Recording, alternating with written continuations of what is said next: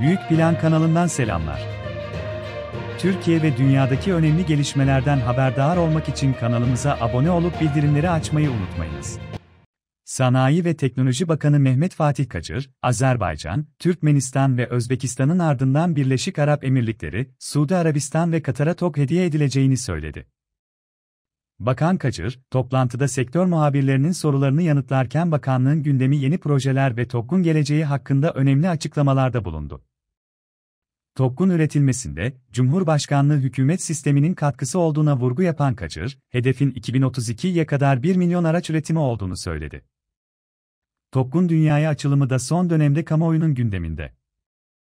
Yerli ve milli aracın yollara çıkmasının ardından Azerbaycan'a ve Türkmenistan'a TOK hediye edilmiş ve beğeni toplamıştı. Kacır, bu kapsamda dost ülkelere TOK hediyelerinin devam edeceğini söyledi. TOK'un, Azerbaycan, Türkmenistan ve Özbekistan'ın ardından hangi ülkelere hediye edileceği sorusu üzerine Kacır, şu ifadeleri kullandı. Malum Birleşik Arap Emirlikleri'ne, Birleşik Arap Emirlikleri, son Şampiyonlar Ligi finali vesilesiyle geldiklerinde devlet başkanına TOK hediyesini arz etmiştik Cumhurbaşkanımızın huzurlarında. Şimdi o hediyeleri inşallah önümüzdeki hafta götüreceğiz ama malum Körfez gezisi 3 ülke, inşallah 3 ülkeye de TOK hediye edilecek, yani Suudi Arabistan'a ve Katar'a da hediye edilmiş olacak.